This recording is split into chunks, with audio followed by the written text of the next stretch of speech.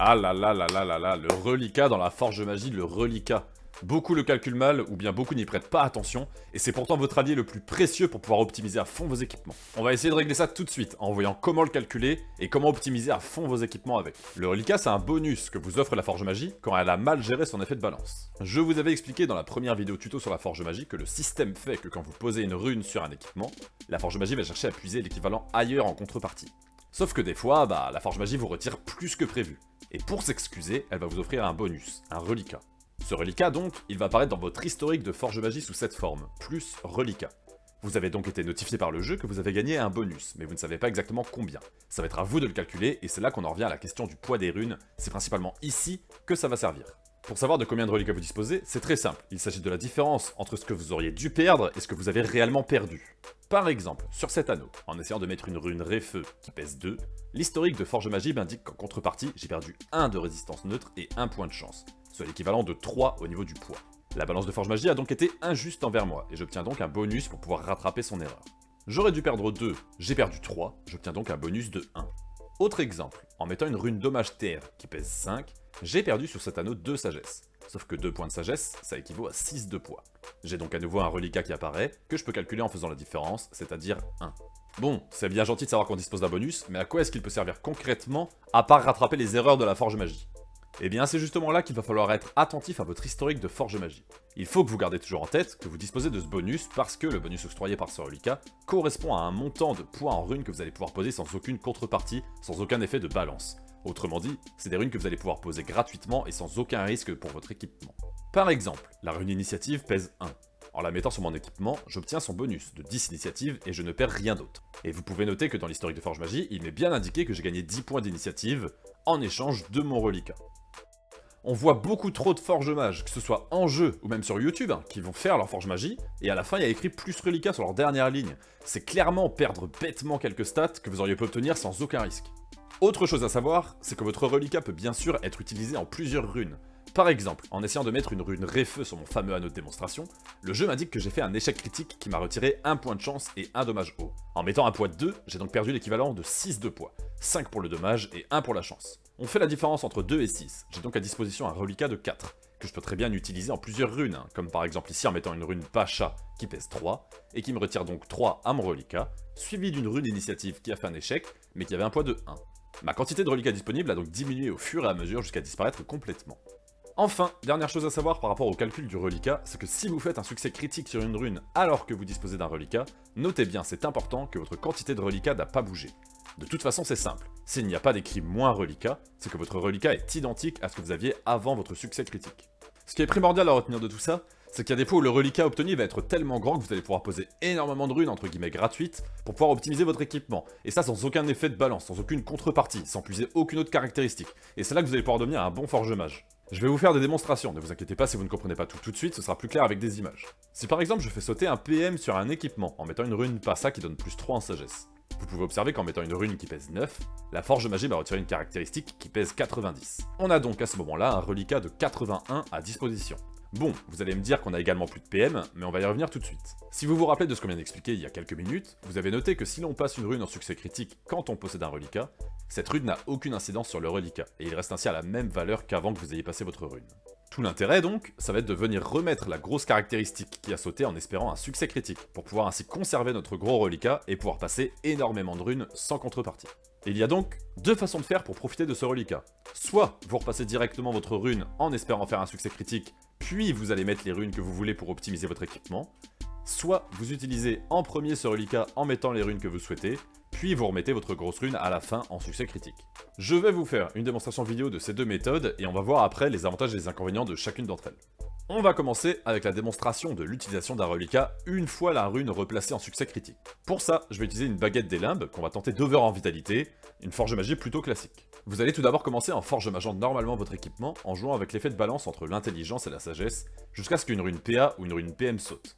Dans le cas présent, c'est le PM qui saute rapidement en mettant une rune Passa. Et c'est là que je vous conseille de sortir votre calculatrice pour être sûr de ne pas faire d'erreur dans le calcul du reliquat. Vous commencez par taper le poids de la grosse rune qui a sauté, en l'occurrence c'est un PM, donc 90 de poids.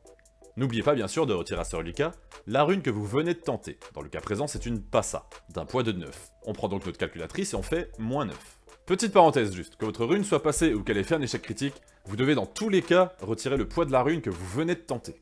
C'est donc à ce moment-là, juste quand la grosse rune vient de partir, qu'on va tenter de la repasser en succès critique. C'est un rappel juste qu'on a déjà dit dans la première vidéo tuto Forge Magie, mais pour savoir si une rune est passée en succès critique, il suffit qu'il n'y ait rien d'autre d'inscrit dans votre historique que la rune que vous venez de placer. On a donc actuellement bien une baguette des limbes avec un PM, et un reliquat toujours présent de 81. Ce qu'on va faire avant de tenter notre hover en vitalité, c'est de peaufiner un peu le jet, en l'occurrence en remontant l'intelligence. On va y aller rune par rune pour vous préciser autre chose sur le reliquat. Première rune, vous noterez que celle-ci est passée en succès Elle ne puise donc pas notre reliquat qui reste toujours de 81. Seconde rune, également. Tant qu'il n'y a pas noté moins reliquat, c'est que celui-ci est toujours identique. Troisième rune, un échec critique sur une païnée, qui pèse 3. On prend donc notre calculatrice et en fait moins 3 pour savoir où en est notre reliquat disponible. On est donc à 78. Enfin, dernière rune pour arriver au jet maximum en intelligence, un succès neutre, indiqué par 3 intelligences et un moins reliquat. Vous connaissez le poids de votre rune qui est de 3, on retire donc à nouveau 3 sur notre calculatrice pour savoir combien de puits il nous reste, c'est-à-dire 75. Le jet ainsi obtenu me semble convenable pour y placer un over en vitalité. Ce que je vais donc faire à présent, c'est de savoir combien de runes vitalité je vais pouvoir placer pour optimiser au maximum mon reliquat.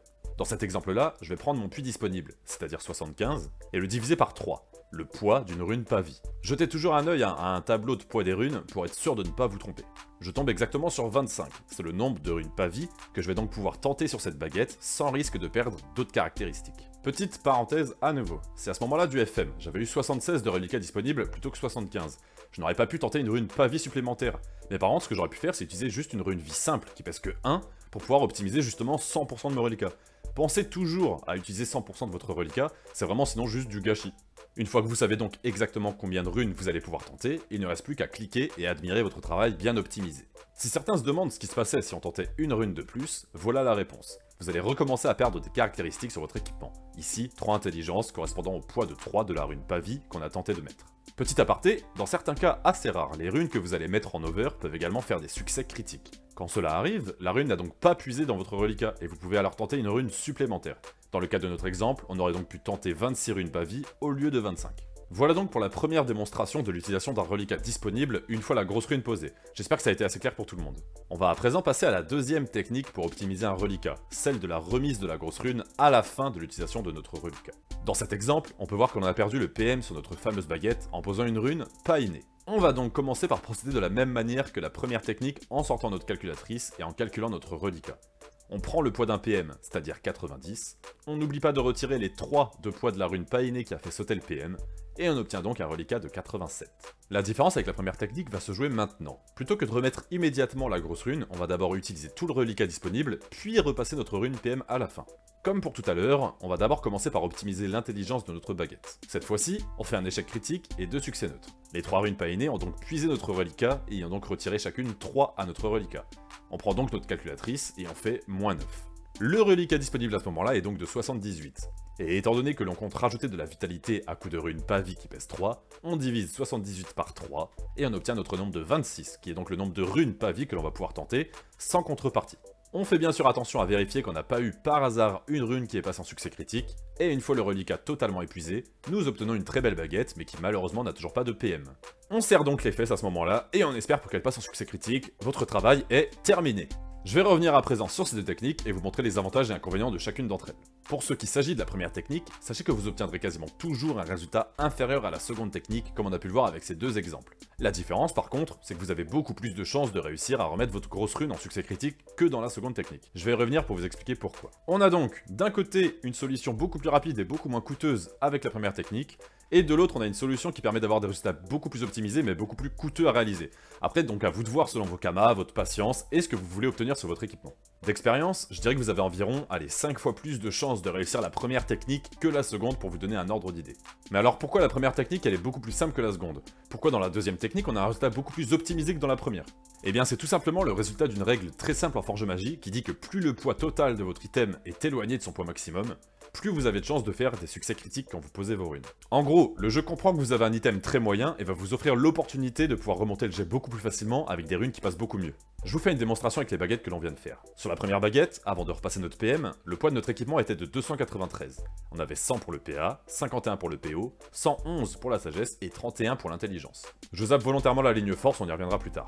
Tandis que sur la seconde baguette, avant de repasser notre PM, le poids de notre équipement était de 326. 100 pour le PA, 51 pour le PO, 108 pour la sagesse, 40 pour l'intelligence et 27 pour la vitalité.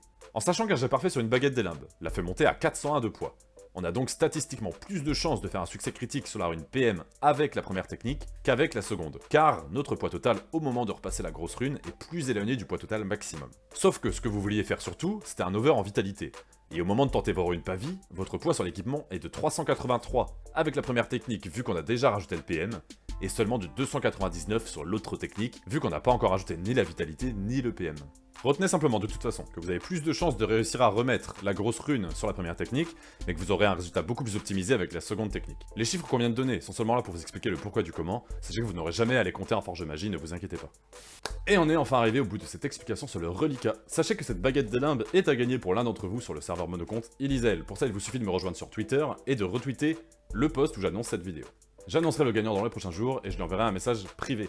J'espère que cette vidéo aura pu vous être utile, vous allez pouvoir à présent devenir de très bons forge mages. Mais il y a encore quelques petites astuces pour pouvoir devenir un expert en forge magie, on verra ça dans la prochaine et dernière vidéo consacrée justement à la forge magie. Sur ce, je vous dis à bientôt, on se retrouve sur Twitch d'ici là. Euh, n'hésitez pas à laisser un j'aime si cette vidéo vous a plu, à vous abonner, vous connaissez la chanson. Allez, tchou